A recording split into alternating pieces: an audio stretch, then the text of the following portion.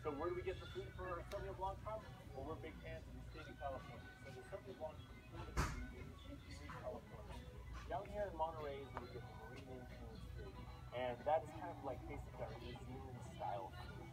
Up here in Northern California, right, we get Napa, Sonoma, and Lake County. Those grapes are affected by cooler temperatures at night, warmer temperatures during the day, so we get the rich fruit, has a lot of mouthfeel.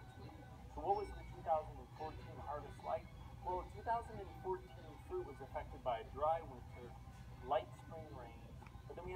summer, so we had optimally ripe fruit.